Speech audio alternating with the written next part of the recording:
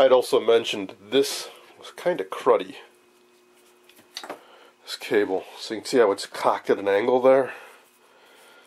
This tape shouldn't be here, and this head or socket, whatever you want to call it, should be really solidly attached to this cable. I'll show you on another one. So here's another one of my CRT head units. No tape, and you cannot move this at all. The cable goes in there and it's solid as a rock. You cannot uh, bend this at all. And it's pretty clean and the pins are straight on the other side. Now back to this one.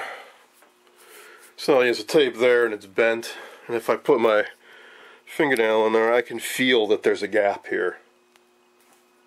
This needs to be bent over and it's it's it's loose. And also, screws are corroded and these pins a bit dirty, got a chip there and one of them's bent a little bit. So I'm going to take this apart. I'm going to pop these screws off. I'll get the rust off and remove this tape and see if I can get this all seated better and uh, try to clean and straighten out these pins too.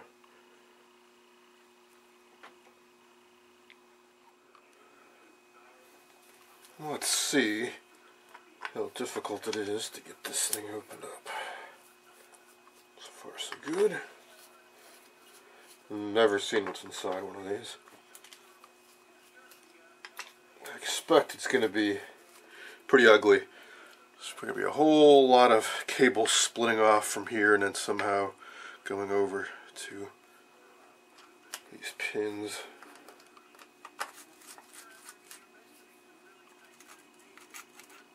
Boy, those are nasty, nasty. Not just the heads would be rusty, but this is rusty all the way through. Got me nervous about what I'm going to find inside here. This must have gotten wet. Yuck. I'll try to dig up some replacements for these rather than trying to remove that rust. Okay. Oh, one back. Phillips screw.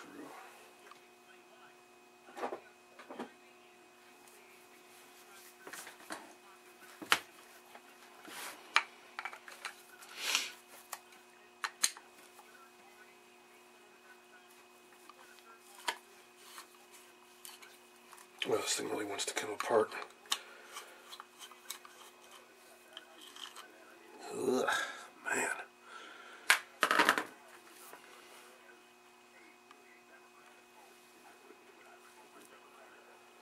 Well, good and bad. It's not as ugly as I thought, but it's got some hot glue or something on there. So what I suspect happened is that this cable's been transplanted. That um, perhaps a portion of the cable was damaged and they cut it off and we put it on here, or perhaps this is a different uh, socket entirely. I guess this would be the plug end and the socket's what's on the chassis. This, this, this sure looks like modern work to me. I hate to even suggest it, but if I really wanted to clean this up, I'd have to take, unsolder all this stuff, somehow get this crud out. If it's hot glue, I can melt it out, but I don't think that is hot glue. It feels more, uh, well, like two-part epoxy maybe.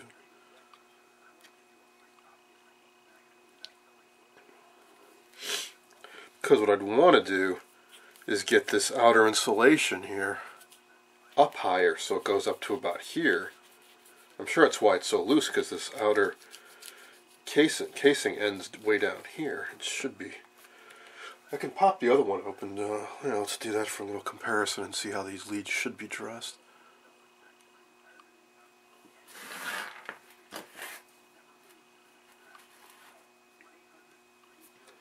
I'll be sure to clean this out really good too, whether I rewire that or not. The screws on this one are certainly in nicer condition. Let's see what's inside. Well, it's actually not that different. It's it's a neater job for sure, but it does also have this hard uh, material inside. It's just a neater job overall, but you can see how this outer vinyl coating goes up much higher inside. That's why the other one is so loose. Hmm. I mean, sure, the other one I can just clean it up and put it back together and leave it as is. And maybe that's the best thing to do for now, rather than try to uh, rewire the whole thing and just to get this up inside. I mean, it works as it is. It's just not as nice as I'd like it to be. Uh, but for sure, I want to clean up those rusty screws, replace them if possible, and clean the pins. This one's got a chip too. I'm guessing that was a common issue because once you take these off the cabinet, these tend to flop around, and I'm sure these whack the floor and get uh, chipped and broken. Of course, I can just keep my eyes out for a replacement. I don't care about the cable, don't care about this. All I just want is this last, you know, little end piece. But uh, somehow I don't see that happening anytime soon. I was flipping through this Philco service pocket guide from 59. I've been showing this earlier with the schematic and uh, parts diagram and so on. What I didn't realize was that way in the back, they have tube charts for troubleshooting when a filament's bad. Filament service charts. Well, check out the one for the 9L38, which is the tandem. So there's the remote AC interlock and tube inside the CRT. And here's the tuner, and they do have the tubes right, as are, are all of these. However, they've got the wrong tubes in the IF. Those should be 3 BZ6s. So even the Philco Pocket Service Guide is incorrect. Now, back to this cable. Just ran over to Home Depot and picked up some Gojo orange cleaner, which is what I used on another one of these cables, and it cleaned it up real nice, so I'm going to give it a shot on this. And boy, the more I look at this and compare it to the other one, I really do want to try rewiring this. It's not only is it just kind of ugly, but a lot of these wires are melted through the insulation, which may break down over time, and all this electrical tape is just so ugly. And then, of course, the issue of not having this as secure as it could be. So, really, the only thing holding me up from just diving right into this is this. What is this? And can I get it out? I mean, sure, I got like a Dremel tool with a grind, with a like cutout or um, a milling bit, and just dive down into that. But that center um, uh, uh, socket pin feeds through up into here somehow, and I need to solder onto it. And uh, I uh, I don't want to break that off. I suppose I can just take a little acetone or something and throw it on there and see if it starts dissolving it, but somehow I really doubt that it would. Or try some heat too. I wish it was hot glue, but it really doesn't look like hot glue to me. I don't think it's epoxy though either because it didn't flow that well. It's kind of got some stringy bits sticking out, so well, I don't know what it might be Gorilla Glue. I, really don't know what the heck that is.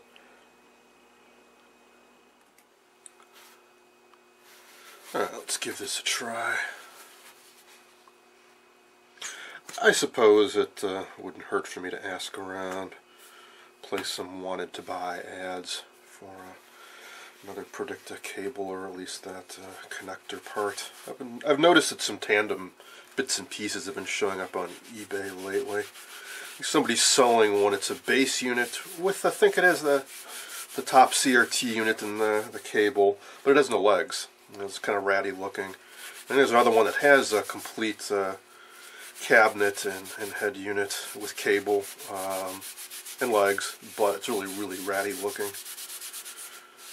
And both of them are, are asking a lot more than I want, considering I just would want a few bits and pieces from them, not the whole thing. Alright, that's working just fine. It smells very nice. So I'll spend the next uh, hour or so cleaning up the entire cable.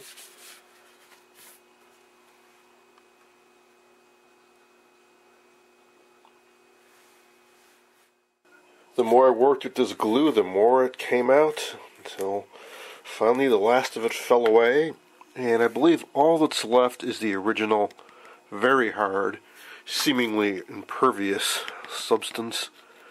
Acetone heat really don't do anything to it. So this, I presume, is the stub of the original high voltage lead. So I need to be very careful not to break any more of that off. And I'll, when I solder the new wire on, I'll try to get down as far in there as possible. Because down here, only got three strands of wire, but I can see there's at least two more here, and I think several more down deep in there. Otherwise, I'll just have to oh, get out something, a Dremel tool, and try to go around here and ream that out. But I really don't want to do that. So with that out of the way, I am going to now start undoing all of these wires, and then I'm going to chop this cable off. I'm going to peel back a bunch of insulation. I'm going to put it side by side with the factory wiring job and try to match it as best I can.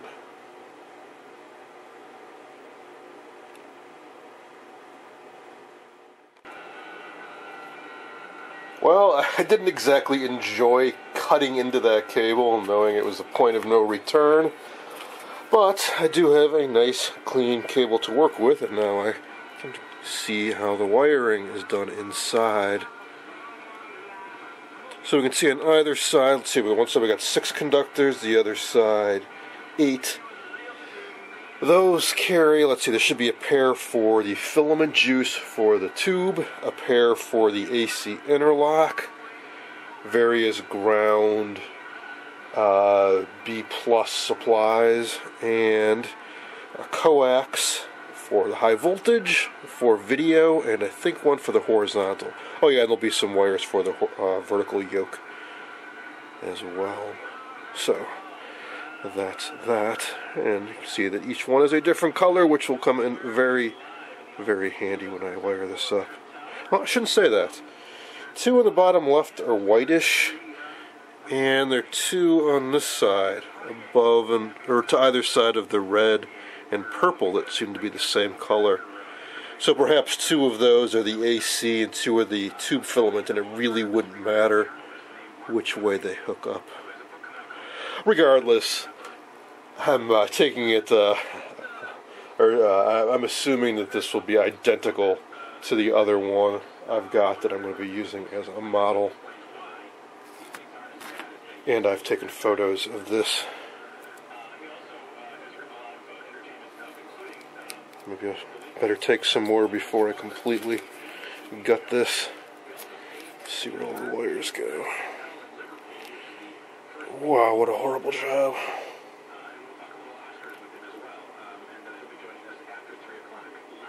In fact, well, I guess they do have all at least have at least a little solder, but some of these look like they're mostly just wrapped on there with maybe a little dot of solder as an afterthought. Well, I'm going to get all those wires out and clean all that stuff up and get that all nice and polished and clean so when I tin the new wires they will attach very nicely.